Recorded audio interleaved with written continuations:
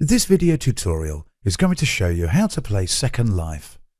Although some people call it a game, Second Life is not a game as there are no goals or levels to achieve. It is entirely up to you what you make of it and what you get out of it. When you are logged into Second Life, you will be in an area known as the Welcome Island, set up especially for new users. To make your avatar walk, simply click on the ground to the direction that you would like to go. If your mouse pointer turns into a hand instead of an arrow, you won't move, but instead interact with an object. Use the up and down arrow keys on your keyboard to move forward and backwards respectively. The left and right arrow keys help you turn left and right respectively. On the other hand, W and S keys make you move forward and backward, while the A and D keys turn you left and right. Make sure you have clicked on the world first to make the chat field disabled. Otherwise you will type chat text instead of walking. To run, double-click the W or the up arrow. To run backwards, double-click the S or the down arrow key.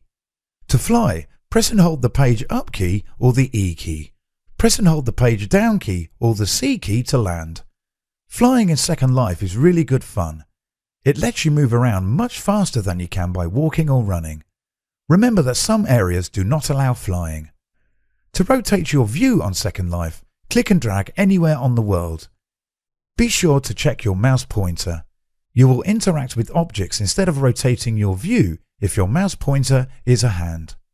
To zoom, press and hold the Alt key, then click and drag the mouse or use your mouse wheel. To start text chatting on Second Life, use the chat button at the bottom of the toolbar. When you start a chat, anyone within 20 meters will be able to see what you type.